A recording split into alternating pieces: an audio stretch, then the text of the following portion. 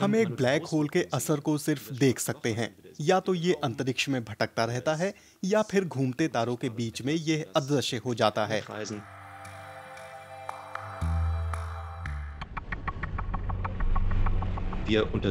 हम उन चरणों की जाँच कर रहे हैं जब मैटर इन ब्लैक होल में खींचा चला जाता है और उनके आसपास की जगह रोशन हो जाती है।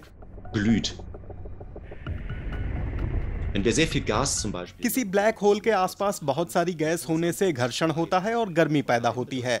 ऐसे चरम वातावरण का मतलब है कि बहुत ज़्यादा ऊष्मा पैदा होती है जिससे ये चमकने लगता है। नतीजतन हमें ब्लैक होल के आसपास बहुत रोशनी देखने को मिलती है।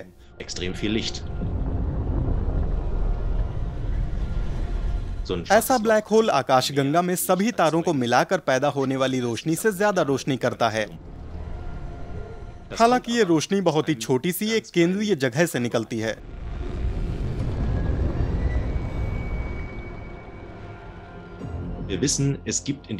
हम जानते हैं कि अंतरिक्ष में तमाम आकाश गंगाएँ हैं तो अगर इन सभी के केंद्र में एक ब्लैक होल हो तो इसका मतलब होगा कि हम बहुत सारे ब्लैक होल का पता लगा सकते हैं। अभी हम करीब 300 ब्लैक होल्स के बारे में जानते हैं।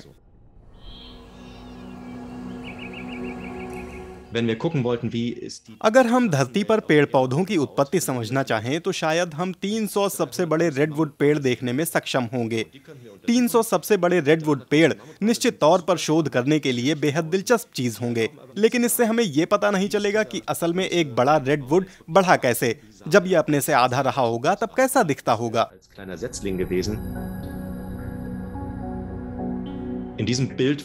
ये शोध जारी रखने के लिए हम रेडवुड के सिर्फ़ सबसे बड़े पेड़ नहीं देखेंगे बल्कि तब भी अवलोकन करेंगे जब वे अपने से आधे आकार के थे या पौधे थे। इससे हम समझेंगे कि ब्लैक होल कैसे बढ़ते और बड़े होते हैं।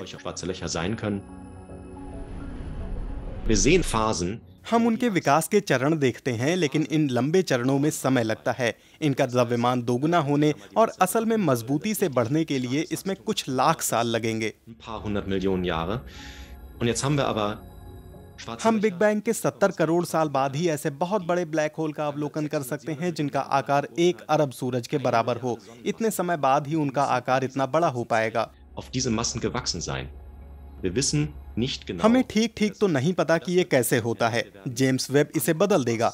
हम पता करने जा रहे हैं कि ऐसे शुरुआती ब्लैक होल के आसपास मौजूद आकाश गंगाओं में क्या हो रहा है। क्या वे 100-200 करोड़ साल बाद भी ऐसी ही दिखेंगी या नहीं? क्या वे मूलतः अलग हैं? इन जवाबों से हम ब्लैक होल के बारे में कुछ ठोस नतीजे निकाल सकेंगे।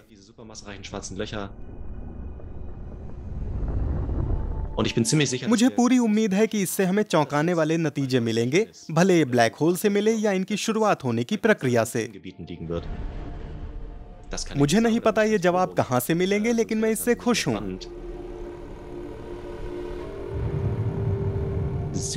निश्चित तौर पर जेम्स वेब हमें बिग बैंग और ब्लैक होल के करीब ले जाएगा।